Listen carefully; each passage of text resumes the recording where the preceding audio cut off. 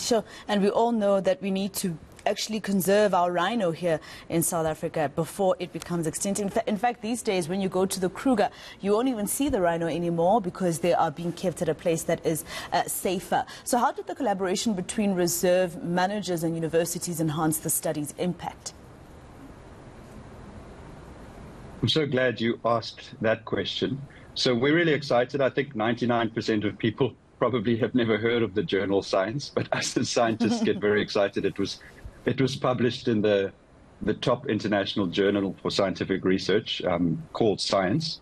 And, and I think the main reason it got into such a good journal was because it was an incredible collaboration between managers on the ground and scientists. And I'd like to just in a, in a few seconds pay tribute to a lady called uh, Sharon Haussmann. She's the CEO of the Greater Kruger Environmental Protection Foundation. And she was the, the leader of this project. She had the vision to get all these managers on the ground together to think critically about what they were doing.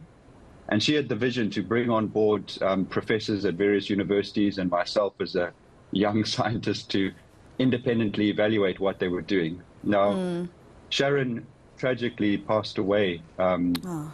a week ago, um, and we'd like oh. to just dedicate this study to her. I know I know she would be very excited right now at, at mm. the attention the study is getting, but, but she was a visionary leader and she helped us see that in order to achieve real impact, as you say, um, there's great power in collaboration. And scientists often zoom into a protected area or a study system, even outside of, of conservation research, um, you know, re- researching economics, um, poverty alleviation.